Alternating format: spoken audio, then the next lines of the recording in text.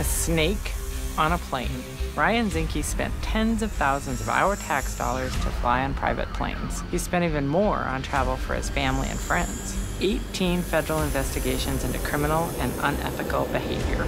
Zinke lied to cover it up and quit in disgrace. I'm Monica Tranel.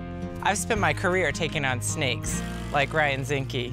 I approve this message. In Congress, I'll take on anyone who tries to rip off Montana.